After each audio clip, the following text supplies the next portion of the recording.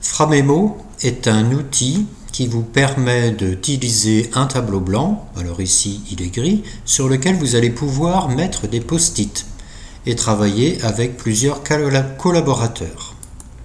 Comment fait-on? Eh bien on écrit par exemple le nom de son tableau. Exemple d'utilisation, on appuie sur la touche Entrée et on a à sa disposition, vous voyez ici, euh, un tableau. Si je clique sur le petit plus, j'ai un post-it qui apparaît, je double-clique dedans et j'ai écrit euh, mon idée, mon idée, comme ceci. Ensuite, je n'ai plus qu'à le positionner sur le tableau. Si un autre collaborateur veut écrire une autre idée, eh bien, c'est possible. Hein. Tout simplement, comme ceci.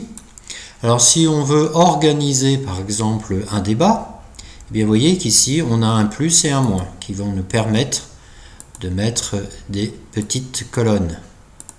Alors on double-clique, exemple, je vais faire un débat et je vais mettre ici.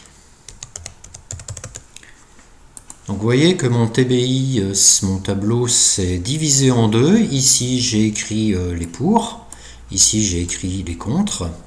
Et je vais pouvoir, comme ça, organiser les arguments hein, en fonction de la thématique abordée.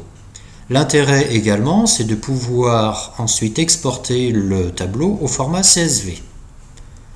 Donc on clique sur format CSV, le tableur va s'ouvrir, on clique sur OK, et vous voyez que l'on a ici tous les arguments qui seront pour, les arguments qui seront contre. C'est très pratique quand on veut reprendre un débat à l'endroit où on l'avait euh, laissé. Voilà. Donc il y a d'autres formes d'exportation, le format texte par exemple. On peut aussi importer euh, un tableau, hein, à condition qu'on l'ait par exemple exporté au format euh, Framemo. Si on veut le réimporter pour le réouvrir hein, ou créer une révision, eh bien c'est très intéressant. Donc comment fait-on pour partager euh, ce tableau avec d'autres utilisateurs? Eh bien il suffit, vous voyez, de partager le lien, tout simplement. Voilà, donc euh, un autre outil très pratique quand on veut organiser un travail à plusieurs sous forme de post-it. A bientôt pour un autre tuto.